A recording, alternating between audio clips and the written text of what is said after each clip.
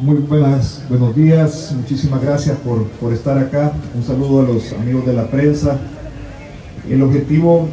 de este plan que estamos presentando en nombre de la Alcaldía Municipal de San Salvador y diferentes áreas y unidades de la Alcaldía que participan en el mismo, lideradas por la Unidad de Promoción de la Salud, es para reconocer, detectar y prevenir el coronavirus que está afectando grandemente en términos de enfermedades, pérdidas de vidas y también pérdidas económicas cuantiosas e incluso que ha aislado a varias ciudades y varios sectores del mundo. Nuestro Departamento de Promoción de la Salud de la Alcaldía Municipal de San Salvador es quien va a liderar la ejecución de este plan al cual también se suman otras unidades como Protección Civil, como la unidad y la Dirección de Desechos Sólidos,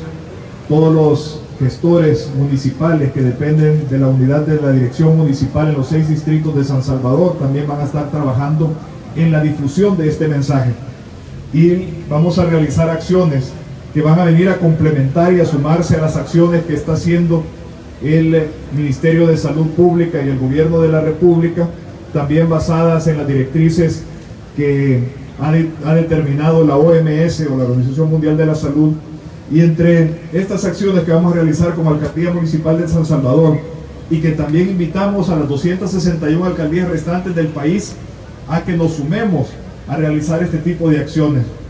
Porque esto no es un problema del gobierno, esto es un problema de todos los salvadoreños y de todos los que podemos incidir